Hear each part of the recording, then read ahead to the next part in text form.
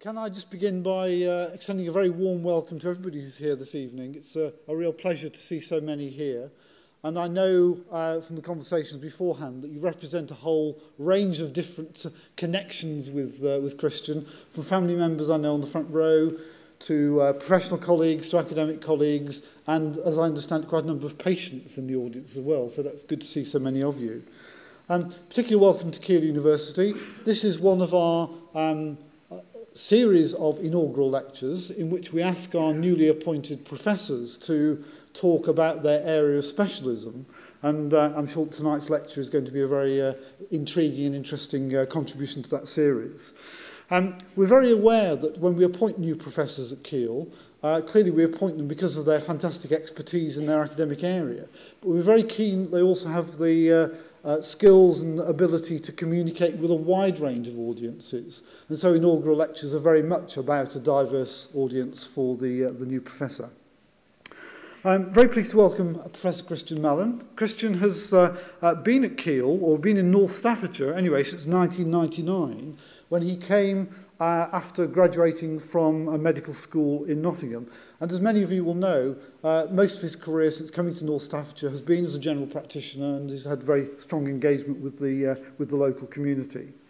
But his interests in uh, the research dimensions of uh, general practice and particular, particularly in uh, musculoskeletal issues in primary care led him to become very strongly engaged with the medical school here at Kiel And uh, from 2004 onwards, he's held a variety of Arthritis Research UK uh, awards and uh, funding and uh, grants to support the work that he does.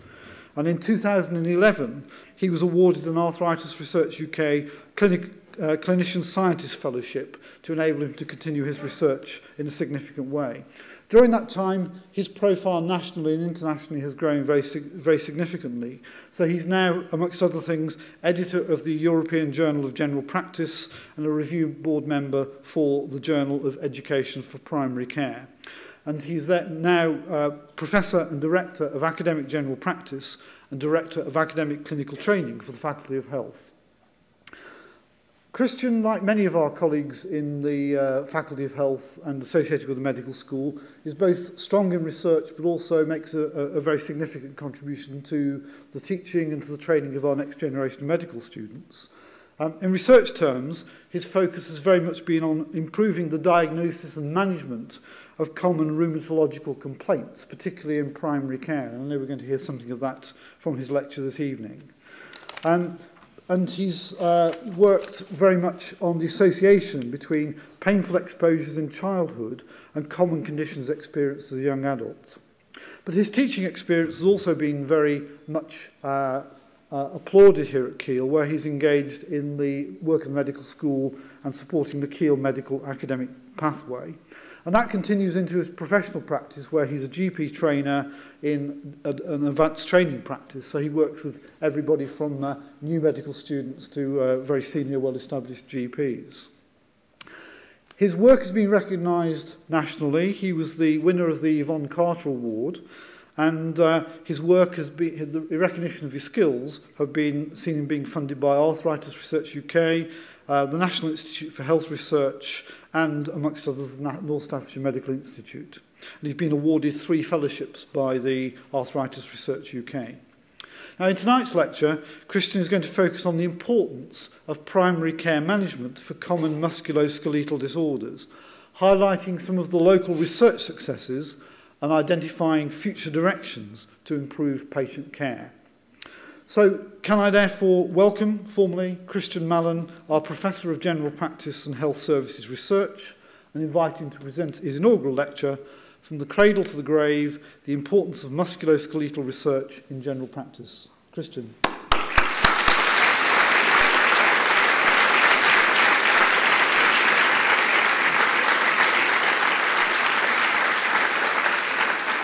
Thank you, and thank you, Professor Foskett, for that kind introduction, and a big thank you for everybody for turning out tonight on such a miserable October evening. I guess we should be lucky that the St Jude storm wasn't as bad as predicted, but I still really appreciate everybody coming out tonight. As people who know me will be aware, I really don't like being in the centre of attention, so When I was first awarded the, the chair post two and a half years ago, the first thing I said to my wife was, oh no, now I have to think about doing an inaugural lecture. You can imagine my delight then for two years when I really thought I'd got away without having to do one. Sadly, my, my lovely head of department, Elaine Hay, thinks that this is a rite of passage that I simply can't be denied, and that's why I'm, I'm here today talking to you. With a technology failure.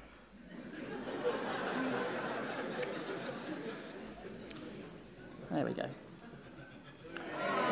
Thank you. So, obviously, the first challenge any new professor must have is to conquer technology. And I, I think you'll see that I've, I've done that very well. so, during this lecture, I've decided that I won't talk about all of the research projects that I've been involved with over the last decade. Instead, I've decided to select one or two which are particularly important to me. I've chosen projects that span the life course, so highlighting how musculoskeletal pain affects children and young adults, before moving on to how musculoskeletal pain is a significant problem for older people, and particularly people with osteoarthritis. As part of this talk, I'm also going to talk a little bit about how I got to be doing what I'm doing today. It's still relatively unusual for a GP to have an academic component to their job, and I don't see why. I think it's the best combination of jobs ever, and it's something I'd encourage everybody to think about doing. So my research is strongly focused on musculoskeletal problems, and in particular, my portfolio of studies try to improve the diagnosis and the management of musculoskeletal pain in a general practice setting. Now, when we talk about musculoskeletal problems, we're really talking about a whole umbrella that, that takes problems from osteoarthritis all the way through to gout and polymyalgia. And these are problems that are especially important in general practice because this is where most of them are managed. Musculoskeletal problems are incredibly common. Looking around the room tonight, I'd be very surprised if somebody hadn't experienced any kind of musculoskeletal pain during their life. And luckily for most of us, it can be quite a short-lived experience. That perhaps with analgesia, with rest, with physiotherapy, you recover and get on with life as normal. But unfortunately, that's not the case for many people with muscle and joint problems, and they can have a really significant impact on people's daily living and what they're able to do. Now, musculoskeletal problems are particularly an issue for general practice. This is some work that was done by Kelvin Jordan, one of the senior statisticians in our department. He wanted to find out what GPs did over the course of the year. Now, after respiratory problems, so coughs and colds, asthma, COPD, emphysema, he found that musculoskeletal problems were the second most common reason for going to see a GP. And that's really important. Every year, 300 million consultations occur in general practice. 90% of all NHS contacts are in general practice, although we only receive 9% of the budget, a finding that I always find quite remarkable. Around one in six consultations every day for GPs are for muscle and joint problems. So I was in practice yesterday and I saw, true to form, eight patients with these kind of disorders. So perhaps it's surprising that we don't have formal training for GPs as part of their general practice training scheme in orthopaedics or rheumatology. It simply doesn't feature. And as such, GPs are very reliant on the kind of research we do here at Keele to help inform their daily practice and guide their decision making. Indeed, despite all the work we're doing here, there's still evidence that much management is suboptimal. Now, partly that's because musculoskeletal problems often aren't prioritised by clinicians, but also there's a big gap when it comes to policy. How often in the morning do you turn on the television and see there's another 50 million pounds injected into A&E, 100 million pounds for cancer services? Over the last 15 years, I don't think I've ever seen a similar announcement for musculoskeletal services, despite the significant burden they have on people's lives. So as I said, the term musculoskeletal is really an umbrella under which there are loads of different disorders. Some work done by Mark Porcheret, who was previously a GP in Leek and now is a senior lecturer in our department, really shows the breadth and the depth of conditions that are seen every week in general practice. So some things are very common, low back pain, shoulder pain, osteoarthritis, and GPs need to know how to recognise those and how to deal with them. But equally, in an average week, GPs might be seeing more unusual conditions, things like osteoporosis, fibromyalgia, polymyalgia. And that's where the real challenge comes in general practice. You have to be prepared for every problem that comes through the door. Now, for me, doing musculoskeletal research is really obvious. It has a significant burden on patients' lives, it has a huge cost to the economy, and it's something that's very relevant to general practice. And that's why I decided to focus my research effort on musculoskeletal problems. But why did I decide to be a doctor, and why did I go into medicine? Well, it's probably no surprise to anybody in the audience that I didn't always want to be a doctor. And in fact, my brother and I spent a long time training to be astronauts when we were younger. As you can see in our very Buck Rogers orientated 70s party or whatever we were doing. Um, but it clearly wasn't a career for me. You can tell from the picture my, my eyesight and my beautiful NHS glasses, thank you, Mum, um, weren't particularly helpful. And my compulsion with tucking my spacesuit into my socks meant that I failed all the NASA health and safety regulations. So I decided to be a doctor. Now, everyone tells you that doctors and policemen are getting younger all the time, and indeed that's the case. This is me just a few years ago on my ENT rotation. Actually, it's, it's a sad irony, isn't it, that when you first qualify as a doctor, you really want to be taken seriously, yet people just tell you you're too young. And then when you're kicking 40, like I am, you desperately want to be told that you look young, and people have stopped saying that to you. So it's getting that dichotomy right that's important. But I, I decided quite early on I wanted to be a doctor, and I, I went ahead to Nottingham University Medical School. And that's where I had my first exposure to research. Now, sadly, exposure is probably the right term for my research activities, as my friends Darren and Alison, who are sat here today from Nottingham, will tell you. I, I spent a year in a laboratory trying to find a vaccine candidate for a really aggressive bacterium called Neisseria meningitidis. It causes meningitis in young adults and teenagers. I was, as you could probably tell from my technology problems earlier on, a bit of a liability in the laboratory. I broke a lot of equipment and I released very dangerous bacteria into the atmosphere all the time. And we had a couple of occasions when the labs got shut down at Queen's Medical Centre. So whilst I was keen and enthusiastic, I really wasn't very talented in a laboratory. So I had to think about what else I'd like to do that could encompass research. I think I was probably like quite a lot of our medical students at Keele. I really enjoyed most of the placements I went on. So I went from one week wanting to be an obstetrician to the next week wanting to be a psychiatrist, back to general medicine again. So actually, the choice of GP was probably fairly obvious from early on. And so I moved to Stoke-on-Trent, and moving to Stoke was complete serendipity. My wife was very keen to move to be near her sister in Birmingham. Um, her sister had just had a little girl who now is a teenager, which shows how long ago this was. I thought Stoke-on-Trent was the same place as Solihull. So I applied to Stoke-on-Trent for GP training. As was the case, you accept a post in medicine if you get it, and you honour that obligation. So we moved up to Stoke, and I think that's something I'd probably never been completely forgiven for. But as often happens in life, opportunities arise in the most unexpected places. And for me, that was the North Staff's vocational training scheme. When I started, we had three absolutely inspirational course organisers. We had Dr. Andy Bartlam, Dr. Anil Vagmaria, and Dr. Vince Cooper.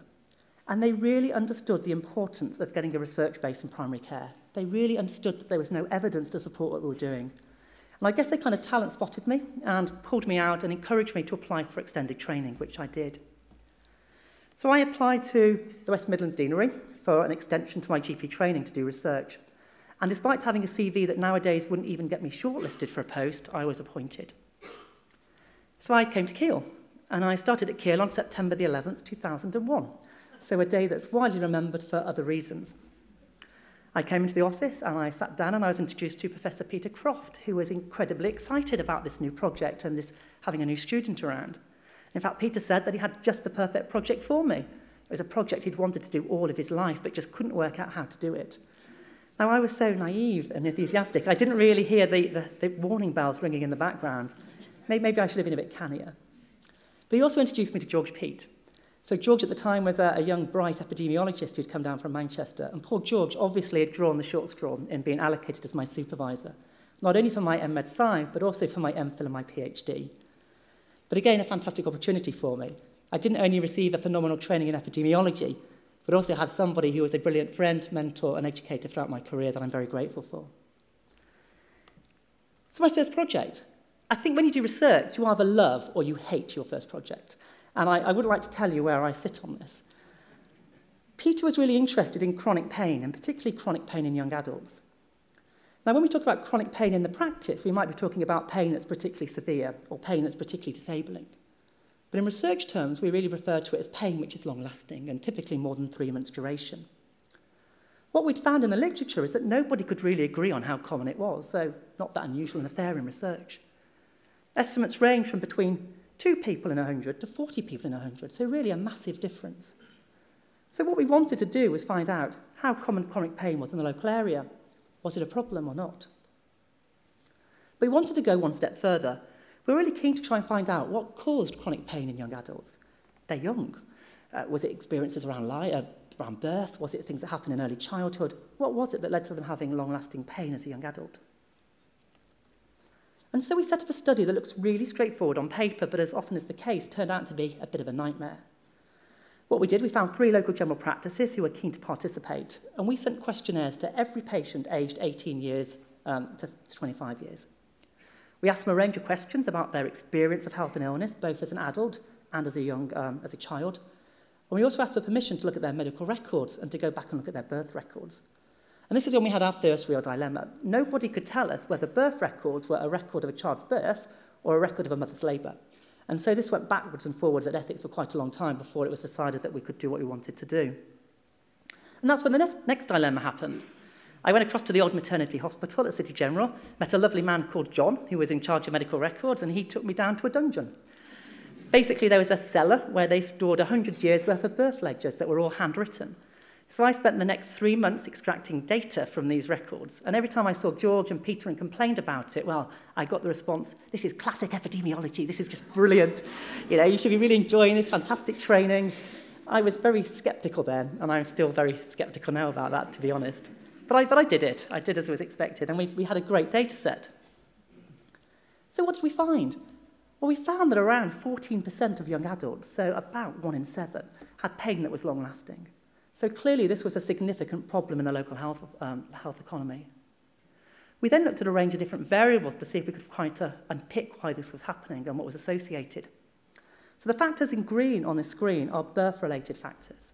So things like being born with a low birth weight, being premature, having fetal distress during labour or going to the intensive care unit, having an induced labour or being born by caesarean section, Now, I know there are a couple of obstetricians here this evening, and they'll be pleased to know that we don't blame them for chronic pain because actually none of these things are associated with pain in young adults. But what we did find, and uh, quite strong associations for childhood events. So children who had a lot of pain went on to have lots of pain as adults. Children who remembered family members having a lot of pain went on to have significant pain as an adult. Children with lots of hospital admissions or children who lost lots of time from school went on to be more unwell when they were older. And this really got us to thinking that maybe these biological factors, such as the way you're born, are less important in this age group, but the social and psychological factors are really dominant. Now, this was a great data set, so we decided we could do some other analyses and find out a bit more about what's going on. Now, I've always been interested in the association between pain and mood problems. We know that if you have pain, you're four times more likely to get depression than if you don't have pain. And we wondered if the origins for this might start in childhood. And lo and behold, actually, what we found was that children who had a lot of pain when they were children were more likely to have anxiety and depression as a young adult. So it seems that this relationship might start quite early in life. The other paper we did, which is something I was, I'm still quite excited about because I think it's my only non-musculoskeletal publication after 80 or 90 papers, was looking at the association between birth and asthma and allergy. So what we did was identify children who had allergic rhinitis, hay fever, um, and asthma from their medical records, and went back to look at the way they were born. So there's a hypothesis that if you're not born by a normal vaginal delivery, you don't get the chance to have your body colonized with the normal bacteria that you need to develop immune response. And indeed, this is what we found in part. Our results weren't statistically significant because of our sample size, but we found that hay fever and allergic rhinitis in particular were very strongly associated with being born by caesarean section or being born prematurely. And this is work now that's been followed up by other research groups finding very similar findings. So that was my first introduction to research, and it didn't just give me the chance to get a really strong grounding in research methodology and leading a team, but also I got to work with some really brilliant people, not just George and Peter, but also Elaine Thomas, who now heads up our CTU, Gwenwyn Jones, who's just gone on maternity leave, and Sarah Muller, who I talk about a bit more later with some of her work. So after doing my MPhil and my MedSci, I was clear that I wanted to have an academic career. And I was very fortunate at that time to um, be awarded a place on the Brisbane Initiative, or the Oxford International Leadership Courses, it's now called. So this got a group of researchers from across the world together for a week in Oxford, where you spent time in a peer learning group, where you talk about research, planning for grants, how to write papers.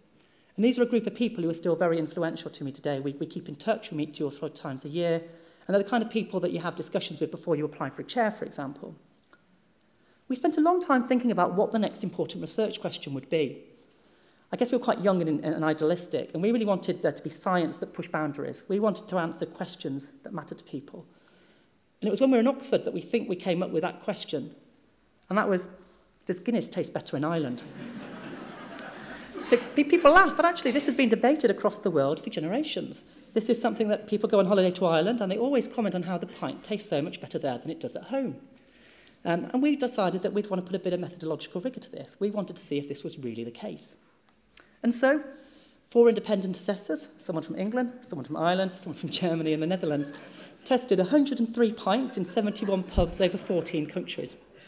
And we developed a really robust assessment process to facilitate this. So obviously we had to take a little bit of kit with us. We took a thermometer, we took a tape measure, we measured the head of the pint, we timed the time it took to pour, we looked at the temperature of the pub and the pint, we looked at the experience of the landlord and of the barmaid, we looked at training, the type of glass that the pint was delivered in, the ambience of the pub, the creaminess and the aftertaste, and then we developed a 0 to 100 overall enjoyment scale, which is really a composite measure of all of these things together. So I know you're dying to know, what did we find? Well, we found that Barack Obama was right. Guinness really does taste better in Ireland. The average scores were 73 for a pint in Ireland compared with just 59 for outside of Ireland. So very, very conclusive findings. Now, as a, as a young researcher, that was great. When I published my other papers that I was very proud of, nobody cared, nobody read them, nobody accessed them. They certainly didn't make the news. Go and have a few pints with friends and assess a pint of Guinness and you're all over the place before you know it. So this hit the headlines all across the world, including the BBC. So The Guardian, obviously leading on the Barack Obama line, that Barack Obama was right, Guinness really does taste better in Ireland. And my personal favourite was from the Sunday Times. And I think this is a pun worthy of a tabloid, to be honest, that pure geniuses prove their point. So that was a bit of fun. Obviously, that's not real science. It was, it was a bit of fun. But what it did do was bring together a group of people who have formed a really strong research collaboration that has lasted now eight or nine years. We're still publishing together, we're still applying for grants together, and it's something that's worked out very well. Now, I'm sure that everybody's really keen to learn more about the Guinness study, so what I'd suggest is perhaps buying me a pint later, and I can tell you all about it then. I've just mentioned how we've got grants as our group in the Brisbane Initiative, and increasingly getting funding for academic work is increasingly hard in the current financial climate. Now, I've been extremely fortunate that Arthritis Research UK have funding my research almost continually. When I first applied for my PhD funding, they really took a punt on an enthusiastic but very naive researcher. And since then, they've also funded my postdoctoral work and more recently my Clinician Scientist Award. And for that, I'm always going to be grateful because having personal fellowships really helps to give you a bit of academic freedom. It allows you to decide a little bit more what you will and what you don't want to do. And so my Arthritis Research UK funded PhD was called the Progress Study. And this really saw me move away from pain in children and young adults across to pain in older people, and particularly older people with joint pain. What we wanted to do as part of the Progress Study was something that I think clinicians, nurses, physios, GPs across the country have thought for a long time. That when it comes to predicting the outcome of a pain, actually, most anatomical regions behave in roughly the same way.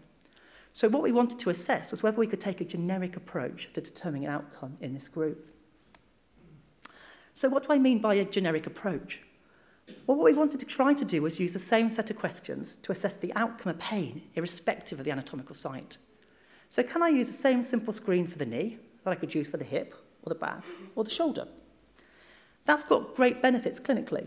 If I developed 15 tools to be used in general practice, no one would use any of them. There simply wouldn't be the time they'd got forgot about. But if I can develop a single instrument which is easy to use and easy to administer, then we're far more likely to have an impact on patient care. And so to start off with, we did a systematic review. And we did this to try to identify all of the relevant prognostic indicators. So systematic reviews are a great research methodology. They're really helpful in getting a lot of information together and really boiling it down to the bottom line message. So we identified more than 7,000 papers that being, again, young and enthusiastic at that time, I probably read in far too much detail, which is probably why I still have a bit of a reaction to systematic reviews. But what its process was, it was incredibly helpful. The 45 papers that ended up in the review identified a range of factors that could be easily used by GPs in the consultation to assess the outcome of pain. And the kind of factors that they highlighted are things that you may not be um, surprised by. So physical factors were very dominant. Things like the intensity of the pain people were having, having pain in more than one place, having pain that was long-acting. Psychological and social factors were also highlighted in the review, but the emphasis was much lower, So far, the scientific community had really focused on physical factors. Now, we really wanted this to be used by GPs in the consultation, by nurses and by physios. So we wanted to add a clinical um, element to this. We wanted to find out what doctors used as part of their routine assessment. And so we're very fortunate that the Primary Care Rheumatology Society facilitated this. So we got a group of 78 GPs in the same room, which is really difficult to do, and we got them to discuss musculoskeletal, musculoskeletal pain and what factors they use when predicting an outcome. They also completed some short questionnaires for us. And what they found was actually they identified a very similar range of factors, but the GPs placed much higher emphasis on social and psychological risk factors. So they thought that anxiety and depression, problems with coping, and problems with a lack of social support were far more likely to determine your outcome than, than some of the more physical factors. So what we decided to do is to combine these two together, develop a tool that could be used by GPs when they saw patients. And this is what we developed. Now, it looks really clunky nowadays, but take my word for it. Eight years ago, this was cutting edge technology. We were the only place doing this sort of research. We got GPs to collect research data in real time in the consultation, and it was facilitated with novel IT. So we really were ahead of the game. The questions that we got GPs to ask are probably things that you might expect. So about pain intensity, on a 0 to 10 scale, how bad is your pain at the moment? Pain interference, is your pain stopping you doing the things you want to do? widespread pain and having pain for a long duration. We also got GPs to screen patients for depression because GPs were particularly adamant that they thought that was a very potent risk factor. The other thing we did was ask GPs to rate what they thought the outcome would be. GPs have a different knowledge of patients. They're used to dealing with people on a daily basis. Did they have some kind of intrinsic feeling about what the outcome would be and could we capture that on a scale? So we did this across Cheshire. Now, I think at this time it's really important to highlight that this technology and, and the network we have at Kiel is absolutely unique. Most primary care research centres across the country would die for our infrastructure. And that's been headed by Rhiann Hughes, who recently been appointed as Deputy Director, so Co-Director for the Research Institute. It's Rhiann's vision and Rhiann's strategy that really has made all this research possible and has allowed us to become the international force that we have become over the years. And I think we all owe Rhiann a great deal of thanks for that. So what did we find? Well, we had five general practices in the central Cheshire area, and they recruited over 500 patients in just three months for us. So the take-up from GPs was phenomenal. Patients were also great when they bought into this study. They had to complete quite a long questionnaire at baseline, so just after they saw their doctor, but also at 3, 6 and 12 months, and rates of completion were really high, around 85%. Unfortunately, we found that most patients had a poor outcome.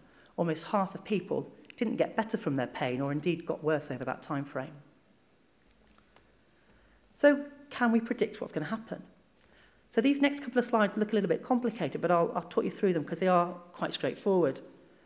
When we ask GPs to predict the outcome, they had an area under the curve of 0.62. And what that means roughly is that they were right about six times out of 10. So better than chance alone, but certainly no gold star. When we added in the brief prognostic assessment that we developed, we found that that improved the area under the curve, and in particular, items like pain interfering with your daily activity, pain that's widespread, or pain that's um, long-lasting, particularly influenced that. And that increased the prediction to around 7 out of 10, so still not great. The final thing we did was ask patients what they thought their outcome would be. So as part of the baseline questionnaire, we asked them, what do you think is going to happen to your pain in the next six months? Do you think it's going to be recovered, completely recovered, much worse, worse, and so on? And actually, this turned out to be a very canny thing to do. When added to the previous model, this increased the area under the curve to 0.8, and that's um, it's widely accepted to be a good level of discrimination, that the model's performing quite well. So this work was recently published in JAMA Internal Medicine earlier this year, and what it really shows is that you can use this simple generic approach to help GPs determine the outcome of pain during the consultation. But that we mustn't forget the role of the patient. Patients are bringing some different information to this process that we're not capturing using our, our usual scientific methods and tools. Now, this potentially is very helpful for clinical practice. If as a GP I see a patient and I think they're going to have a poor outcome over the next six months, I might do things differently. I might arrange an early referral. I might get physiotherapy earlier on. I might get them back to practice sooner than I would do normally. This information is also really important to patients. George and I asked patients if they wanted to know the likely outcome, and 85% of people said yes. Now, when we tried to find out why, that wasn't because people wanted their pain to go away or because they, they just couldn't deal with it. They wanted it to know that information for really pragmatic reasons. They were caring for elderly relatives, and if they knew their pain wasn't going to get better, then they could make plans. They wanted to do things to their house while they were still well enough to do so. So it was very much around forward planning and being prepared for the future. So that kind of brings me up to the last few years. As well as generating an evidence base for primary care, I think as academics we have a real responsibility to also develop and nurture the next generation of clinical academics. This motley crew I don't think will be doing anything in the near future, but I think we have to have a real eye on our undergraduates so that we can talent spot at an early age. Academic medicine's always been described as being in crisis. Over the last 10 years, we have the same number of clinical academics as we had roughly a decade ago. Unfortunately, the same thing is happening in clinical general practice. We need around 50% of all graduates to go into general practice, and we want the best.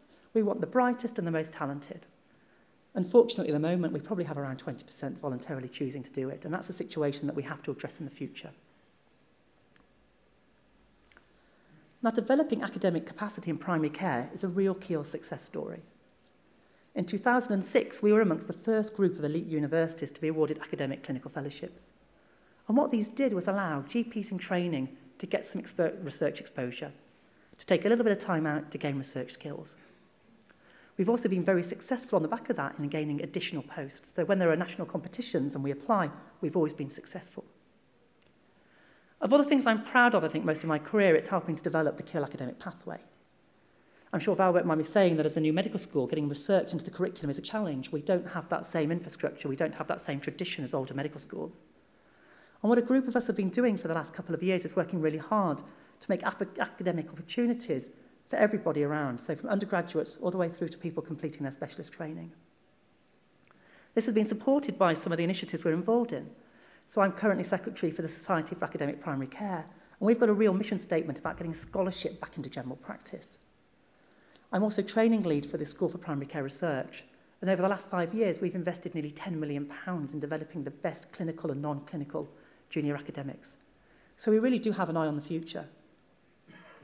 When I look at these pictures along the bottom, these are our past and our current trainees, and they're a group that I'm incredibly proud of. And it's really nice to sit here and be able to see that the future of academic general practice is really safe in their hands.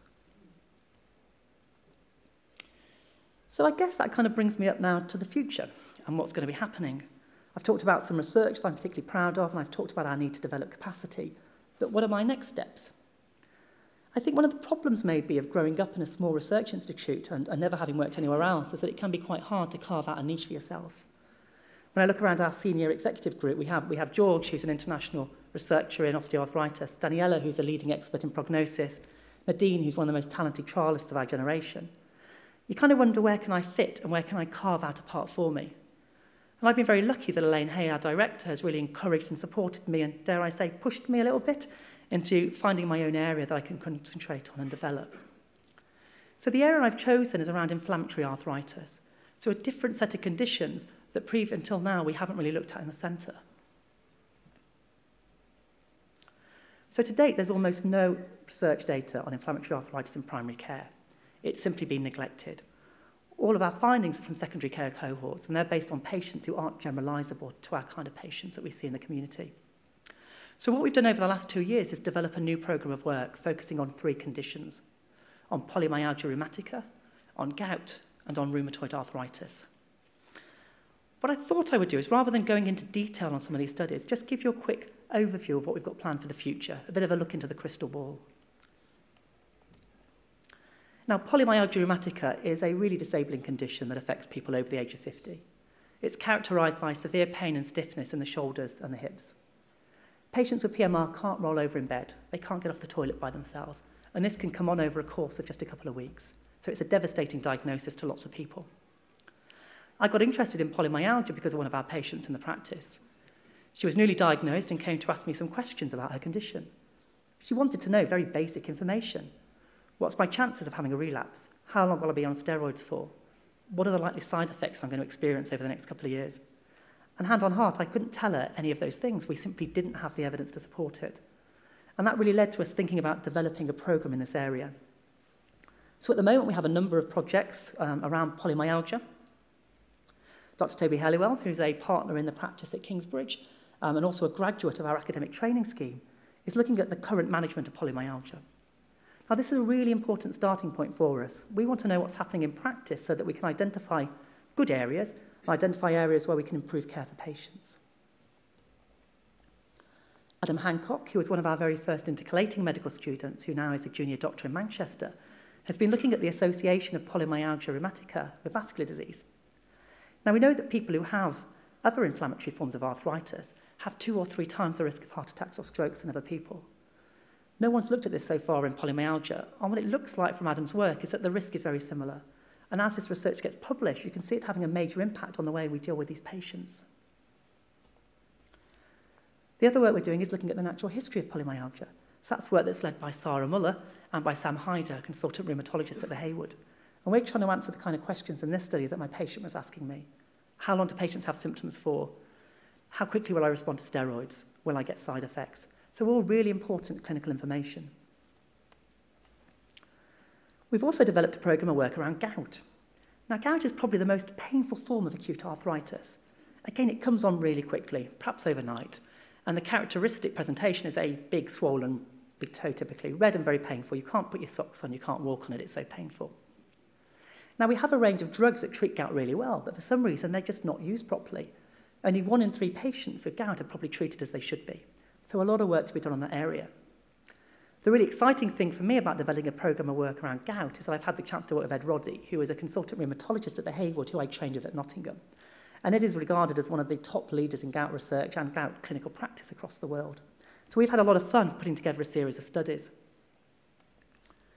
So at the moment we have um, Jenny Little and Jane Richardson, who are social scientists, and they're exploring patients' experiences of living with gout. Gout is still associated with terrible stigma and awful stereotypes – You think about your classic gout patient and they're overweight, they're living a good lifestyle, they're drinking too much alcohol. And we know that's not true. Furthermore, those kind of stereotypes are really unhelpful. They stop people seeking medical care and getting the right treatment. So we're trying to unpick exactly what's going on in that study. Priyanka Chandratre, who's one of our academic rheumatology trainees, is looking at health-related quality of life in patients with gout. She's got a large group of patients that she's following up over a couple of years to see how gout impacts on people's day-to-day -day lives. Ed is doing a really important study, which actually probably should have been done 30 years ago. There are two groups of drugs that we commonly use to treat gout. Anti-inflammatories, such as naproxen, and colchicine, which is derived from the crocus.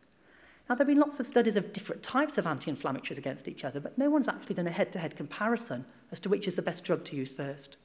So again, these findings have the potential to really impact on what we do clinically.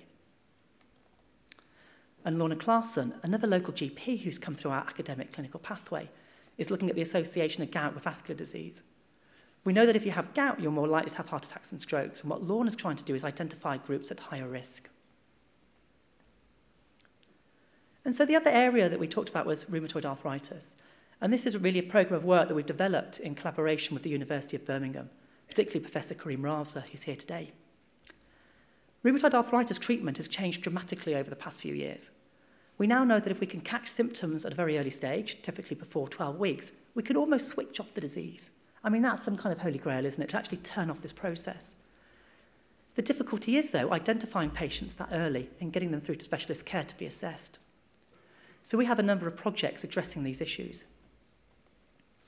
Sarah Muller is trying to identify whether there's a prodrome or a preclinical RA state in which we can identify patients in general practice and get them rapidly referred across to specialist care. Dr. Rebecca Stack and Professor Cream Raza are looking at reasons why patients delay when they develop these symptoms. So we know that one of the major reasons why patient, people don't get treated within 12 weeks is because patients are delayed going to see their doctor.